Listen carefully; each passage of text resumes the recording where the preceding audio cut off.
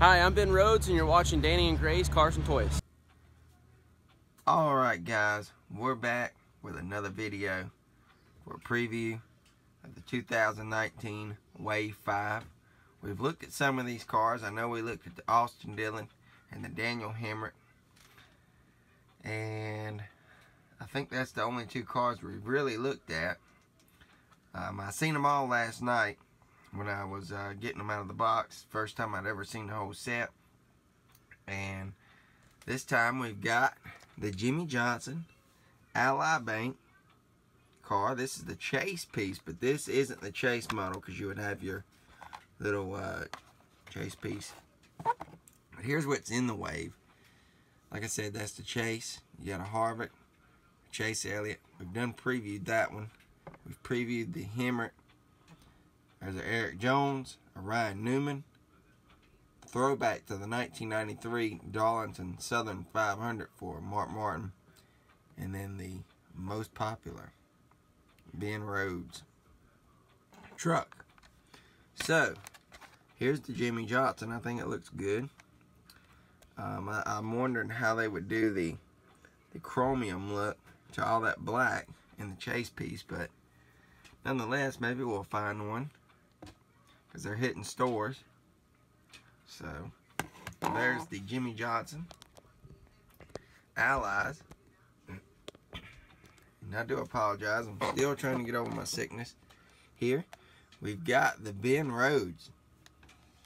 Our first look at the Ben Rhodes truck from his uh, Kentucky win from 2018. This truck's pretty sought after right now, just like all the other trucks. We have not missed any of the trucks. We have gotten them all. There's been the Daytona release, the Chase Briscoe, the Matt Crafton, the Brett Moffitt, and now we have the Ben Rhodes for Wave 5. Some people were on eBay selling this for about 40 $50 not even like two weeks ago. So, been crazy. And in wave six, we'll be bringing out the Hailie Deegan whenever we can find one. Uh, people's gonna really go crazy over those. But I think the truck looks good.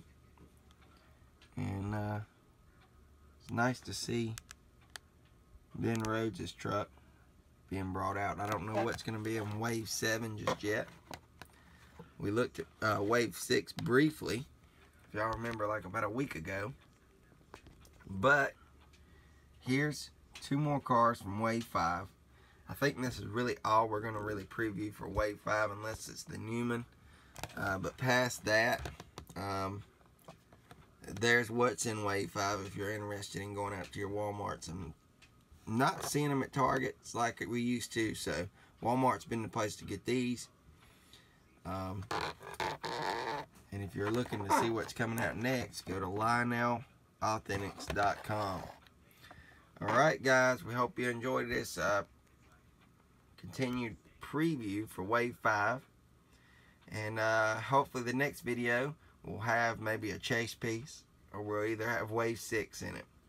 Alright, hope you guys enjoyed and we'll see y'all later.